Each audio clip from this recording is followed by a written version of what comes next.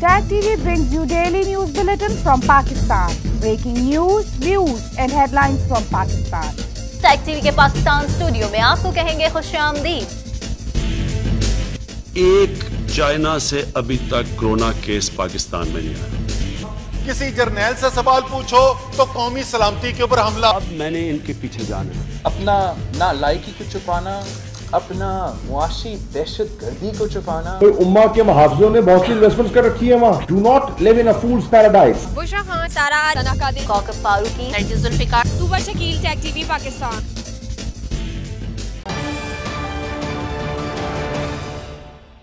अस्सलाम वालेकुम नाजरीन टेक टीवी के पाकिस्तान स्टूडियो में आपको खुश आमदीद कहेंगे। मैं हूँ आपकी मेज़बान नारिब खान। सबसे पहले शामिल करते हैं न्यूज़ हेडलाइंस। वज़ीर अजम की टूटी सड़कों को हंगामी बुनियादों पर बहाल करने की हिदायत शहबाज शरीफ ने खैबर पख्तूनख्वा के लिए 10 अरब रुपए ग्रांट का ऐलान कर दिया। सलाम मुतासरीन की कराची आमद का सिलसिला जारी है। सलाम जदगान का हुकूमती लापरवाही का शिकवा। हुकूमती अदम तवज्जही की बिना पर बच्चों में जिल्द की वबा फूट पड़ी। मुतासरीन की जानब से फौरी इमदाद की अपील। तोहन अदालत केस में इमरान खान को सात योम में दोबारा जवाब जमा कराने का हुक्म। इस्लामाबाद हाई कोर्ट के चीफ जस्टिस ने रिमार्क दिए कि तो कर रहा था कि गलती का एहसास होगा। तबाही बहुत बड़ी है। हम सबको मिलकर पाकिस्तान को दोबारा खड़ा करना है। ऐसा इकबाल कहते हैं, समंदर पार पाकिस्तानी भी दिल खोल कर एहतियात दें। तरक्याती फंड्स में कटौती करके बहाली के काम किए जाएँगे। सलाम मुतासरीन की फौरी इमदाद के लिए जमात इस्लामी मुतहरक सिंध और बलूचिस्तान में इमदादी राशन की फरहमी का बंदोबस्त रहनुमा जमात इस्लामी कहते हैं रजाकार मुतासरीन को फौरी इमदाद पहुँचाने के लिए सरगर्म अमल हैं Laundry is no longer a hassle. Just toss an EcoFresh detergent strip into the washer for a convenient, eco-friendly yet powerful wash. Hypoallergenic, safe for sensitive skin. Say no to bulky plastic jugs and bottles. No more measuring and spilling. Just one strip for a load. Simple and squeaky clean. Plastic-free, biodegradable packaging. Organic, paraben, phosphate, dioxane, and cruelty-free. Order now at www.ecofreshcanada.ca or at Amazon. Headlines आपने जानी और अब खबरें तफसील के साथ वज़ीर अजम शहबाज शरीफ ने कलाम में फंसे सयाहों को फौरी निकालने का हुक्म देते हुए एफ़ डब्ल्यू ओ को टूटी सड़कें हंगामी बुनियादों पर बहाल करने की हिदायत कर दी। मजीद जानते हैं इस रिपोर्ट में।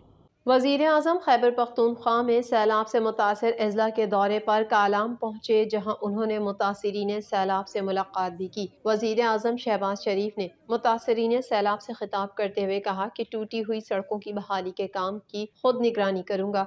सयाहों को रेस्क्यू करने के लिए हेलीकॉप्टर मुहैया करने पर army chief general Qamar Javed Bajwa का शुक्रिया अदा करते हुए उनका कहना है कि सब मिलकर मुतासरीन की इमदाद के लिए काम कर रहे हैं। शहबाज शरीफ ने कहा कि एफ़ डब्ल्यू ओ और एन एच ए बहाली के काम में मसरूफ़ हैं।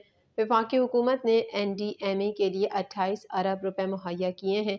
सैलाब से मुतासर हर ख़ानदान को पच्चीस हज़ार रुपये दिए जा रहे हैं। वज़ीर अजम ने बताया कि सिंध के लिए पंद्रह अरब और बलूचिस्तान के लिए दस अरब रुपए ग्रांट का ऐलान किया है, जबकि खैबर पख्तूनख्वा के लिए भी दस अरब रुपए ग्रांट का ऐलान करता हूँ। उन्होंने कहा कि दोस्त ममालिक से दिन रात जहाज़ इमदादी सामान लेकर आ रहे हैं। ये इमदाद शफाफ तरीके से मुतासरीन सैलाब तक पहुँचाई जाएगी। जमा होने वाली इमदाद के हम अमीन हैं। अट्ठाईस अरब रुपया हर मुतासर ख़ानदान को पच्चीस हज़ार रुपये फ़ी ख़ानदान मुहैया किया जा रहा है। सिंध में भरपूर काम जारी है, बलूचिस्तान में जारी है। अब के पी में भी इसको शुरू किया जा रहा है। अंदरून सिंध बदतरीन सैलाब की तबाहकारी के बाद मुतासरीन सैलाब नकल मकानी पर मजबूर हैं। सिंध के ज़िला नौशेर फ़रोज़ में तबाही के बाद मुतासरीन कराची पहुँचना शुरू हो गए। ट्रांसपोर्टर्स ने किराए दुगने कर दिए। तफसीलात जानते हैं इस रिपोर्ट में। पाकिस्तान इस वक्त तारीख की बदतरीन सैलाबी कैफियत का सामना कर रहा है। सैलाब ने दीगर सूबों की तरह सिंध में भी बड़े पैमाने पर तबाही मचाई। ज़िला नौ शहरों, फिरोज़ के तालुका महरापुर के गोट, उमर खास खेली जेर आब आ गया सफ़ाई, हस्ती से मिट गए। मवेशियों की बड़ी तादाद हलाक हो गई। हज़ारों एकड़ पर खड़ी फ़सलें जेर आब आ गईं। सैलाब की तबाही के बाद मुतासरीन की जानब से नकल मकानी का सिलसिला शुरू हो गया है। सैलाब जदगान की बड़ी तादाद कराची का रुख कर रही है। मुतासरा गोट उमर खास खेली के रहायशी हाजी गनी बख्श का कहना था कि हमारे गाँव में सैलाब आया हुआ है, बारिश का पानी इतना आया हुआ है कि हमारे जानवर मर गए, हमारे घर गिर गए सारे हमारे को सवारियाँ नहीं मिल रही थी कि यहाँ आने के लिए। जो हमारा हज़ार रुपये किराया लगता था तीन तीन हज़ार रुपये गाड़ी वालों ने किराया लिया, हम फैमिली बच्चों के साथ यहाँ लेके आए। वहाँ पानी में से निकलने की जगह नहीं थी। हमारे पास कड़ाव होते थे लोहे के जिनमें गुड़ बनाते थे। उनके ऊपर बच्चों को बिठा के हम वहाँ से लेके आए बाहर रोडों पे। मुतासरा इलाकों में तिबी सहूलियात की अदम फरहमी के बायस बच्चों में वबा फूट पड़ी है। एक और मुतासर मोहम्मद अशरफ का कहना था कि हमारे पास बड़ा नुकसान हुआ है हमारे फ़सल तबाह हो गई हमारे जानवर जो है सारे जो पानी में चले गए सैलाब आया हुआ है दूसरे गाँव से। हमारे पास कोई सहूलियात नहीं है ना कोई राशन वगैरह आया हुआ है ना कुछ वगैरह। हमारे जो बच्चे हैं बीमार हैं उनके लिए सहूलियात कोई नहीं अस्पताल की। उसकी वजह से वो खारिशें हो गई बच्चों को हमारे ज़्यादातर बीमार हो गए बच्चे हमारे। सैलाम मुतासरी ने अरकान सूबाई असम्बली की जानब से दाद रसी न करने पर मायूसी का इजहार करते हुए हुकूमत से फौरी इमदाद की अपील की है। इस्लामाबाद हाई कोर्ट के चीफ जस्टिस अतर मिनल्ला ने रिमार्क दिए हैं कि एक सियासी जमात के लीडर के फॉलोअर्स होते हैं तो उसको कुछ कहते हुए सोचना चाहिए। इमरान खान के कद के आदमी को क्या ऐसा करना चाहिए था? मजीद जानते हैं इस रिपोर्ट में। इस्लामाबाद हाई कोर्ट के लार्जर बेंच ने सबक वज़ीर अजम इमरान खान को तोहन अदालत केस में सात रोज में दोबारा जवाब जमा कराने का हुक्म दे दिया। चीफ जस्टिस अथर मनिला की सरबराही में इस्लामाबाद हाई कोर्ट के पाँच रुकनी लार्जर बेंच ने तोहन अदालत केस की समात की। इमरान खान अपने वकला के साथ पेश हुए। केस की समात करते हुए चीफ जस्टिस अथर मनिला ने चेयरमैन पी को मुखातिब करके कहा कि जिस तरह गुजरा हुआ वक्त वापस नहीं आता, जबान से कही हुई चीज़ वापस नहीं आती। मैं तो कर रहा था कि गलती का एहसास होगा। चीफ जस्टिस ने कहा कि हमारे इदारे ने भी बहुत गलतियाँ की हैं, जिन पर तनकीद को वेलकम करते हैं, लेकिन जो जवाब आपने जमा कराया, वो इमरान खान जैसे लीडर के रुतबे के मुताबिक नहीं। तोहन अदालत केस की समात के दौरान चीफ जस्टिस ने चेयरमैन पीटीआई इमरान खान को सात रोज में जवाब दोबारा जमा कराने का हुक्म दे दिया।